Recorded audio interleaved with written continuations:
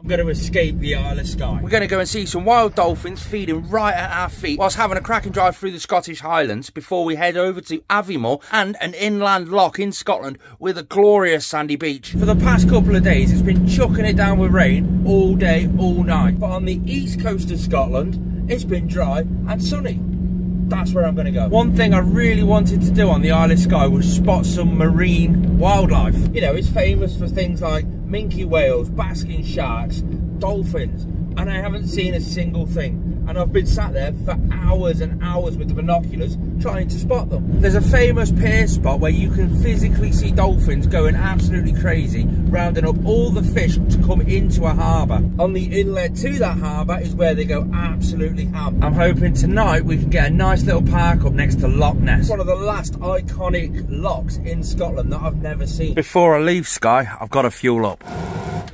That's not too bad. A 64 mile to get to Loch Ness. Look at that, only just got out of Skye and the rain stopped. That's got to be a good sign, hasn't it? you watch, I've left the rain behind and he's going to follow me all the way over there. Guaranteed that's what's going to happen. See, this is exactly how Scotland should be.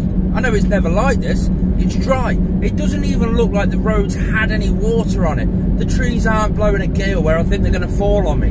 This is just beautiful. But tomorrow's the one I'm looking forward to. I'm really looking forward to seeing some dolphins. I just want to see some sea life, marine life, that sort of thing. It's just something that Scotland's famous for, and I want to be able to see it. So, the place where we're going, they have the inlet where this dolphins come and push all the fish into that area, and then they feast out on them. I was reading somewhere that an hour after low tide, when the tide's turned and it's coming back in, that's the best time. So when I park up tonight, I've got to check out those tide times, see what happens. I may even have a look around that area. It's right on a like, like on a peninsula sort of thing that sticks out. I'll show you more about it tomorrow. Holy mother of God. That's my first ever look at Loch Ness. Just behind those trees, I've just caught a glimpse of it coming down the hill. That is absolutely massive. I was coming down a hill right at the start and all you could see was just the, the loch. It's massive. I can start to see why they think there's something prehistoric living in there. We've actually got blue in the sky. What? Oh, it's amazing. it's not even six o'clock in the morning. We're right next to Loch Ness. 5.42. And I've got to defog the windscreen. But why am I heading off so early? Low tide's at seven o'clock in the morning. I'm an hour away, so I should get there about low tide. Hopefully there's parking because there's, there's limited amounts. Then we can go around to the dolphin park, the little point, have a look. We wave goodbye to Loch Ness and the police car that's flying past us and make our way over to Channery Point. I can see the point that we want to go to all the way out there. Not even 7 o'clock yet. It's like 20 to 7, so we've got 20 minutes until the tide turns and it starts to come in. But it's about an hour after the low tide where they recommend you're going to see them. You may not even see them. They're wild animals at, at the end of the day. Burkhard, I hope I see them. This is awesome. I don't entirely know what to look for.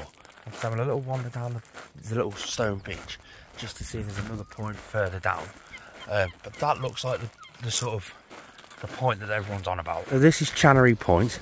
On the incoming tide, the salmon come in and the dolphins push the salmon even further. And this is the pinch point where they start feeding on them. So I'm really, really hoping we see them. I can't get over just how quiet this place actually is. There's literally nobody around. All the videos I've seen, this place has been packed. Makes me wonder whether or not I've got the right place. But I've also got to keep in mind, it's 7 o'clock in the morning on a Sunday morning. Nobody's this crazy. Look at this for a setup. I've got my full tripod out, my DJI Osmo Pocket on the top just there.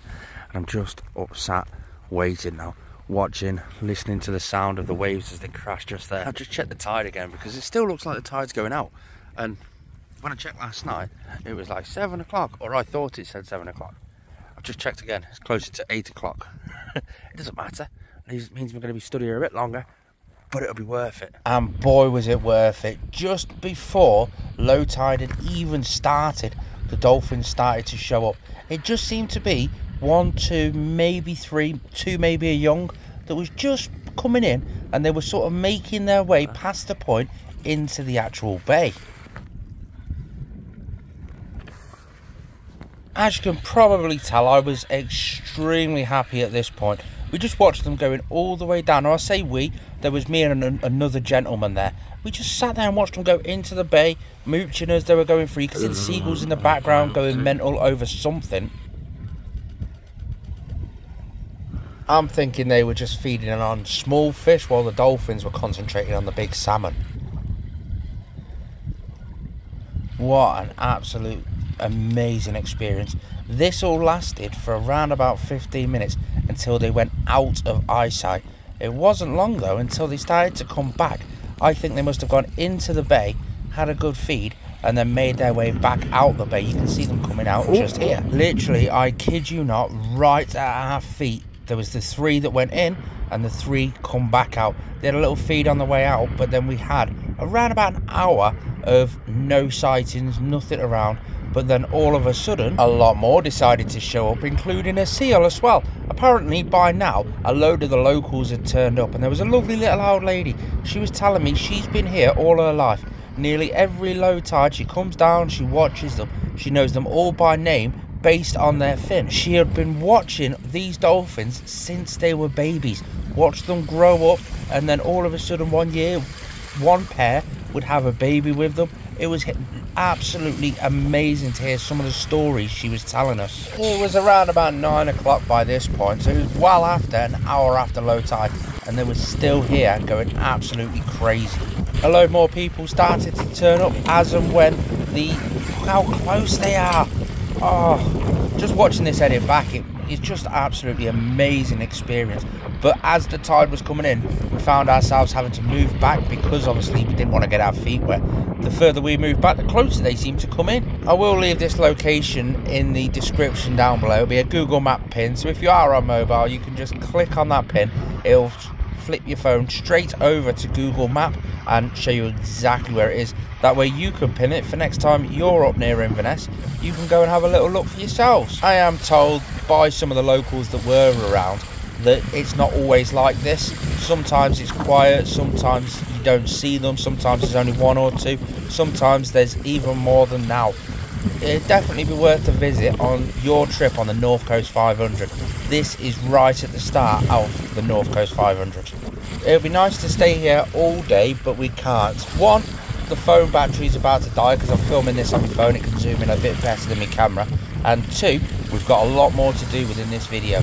We want to get down to Aviemore. It's somewhere that I've never been before, but everyone raves about it. So I want to go check that out. Apparently they've got a little steam train sort of area there.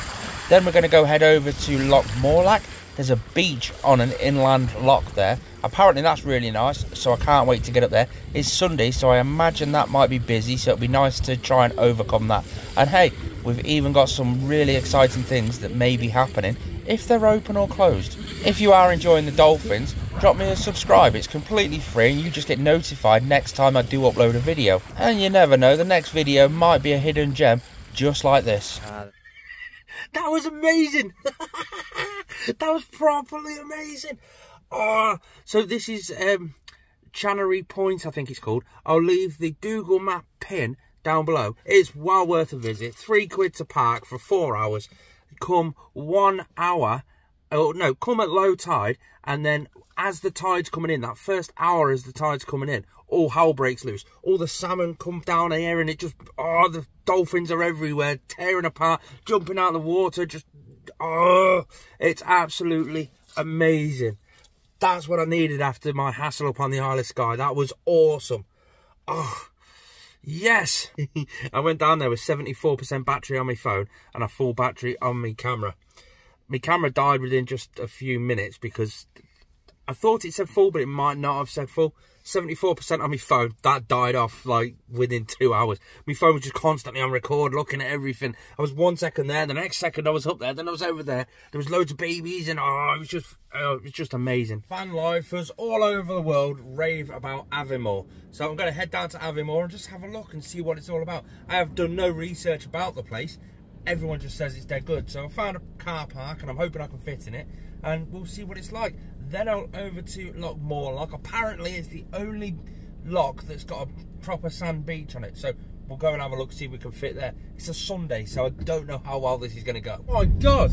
Through the little village, Avoch, I think it's called, I've just seen a pine marten run across the road. I mean, most people won't know what a pine marten is or anything like that, but they're an endangered species. They're like a weasel.